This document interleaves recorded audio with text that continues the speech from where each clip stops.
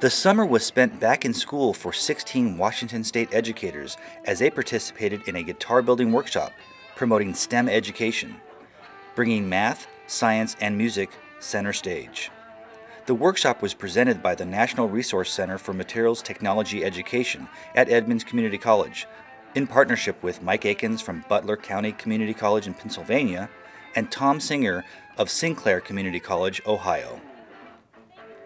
This five day faculty development workshop engaged teachers in student focused learning activities that relate to STEM education through the design and construction of the electric guitars. What is exciting about this innovative workshop is that it's designed to inspire educators and students. And interest in this guitar building workshop is sky high, as electric guitars crosses so many barriers and relates to so many different people. Participating teachers receive curriculum modules to immediately integrate into their school curriculum.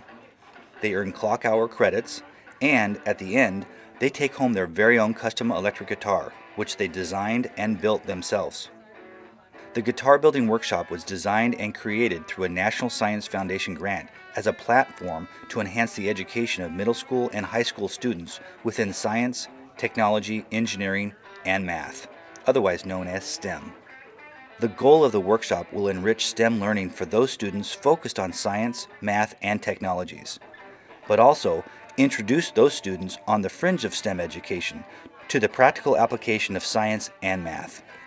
The workshop will provide a hands-on environment, demonstrate real-world application of science, technology, and math, and connect with students not currently interested in STEM through a passionate topic of building guitars.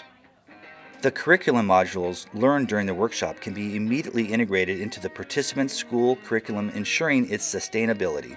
The impact will be enormous on the teachers and will be responsible for showcasing science in a whole new light for so many different students not yet interested in science. The National Resource Center for Materials Technology Education, housed at Edmonds Community College, presented this innovative faculty development workshop. At the completion of this faculty development workshop, participants will have experienced in innovative project-based STEM curricula, including hands-on learning, cutting-edge technology for the day-to-day classroom experience. The Solid Body Electric Guitar Project will be introduced as an innovative vehicle for teaching concepts in science, technology, engineering, and mathematics, bringing math, science, music center stage.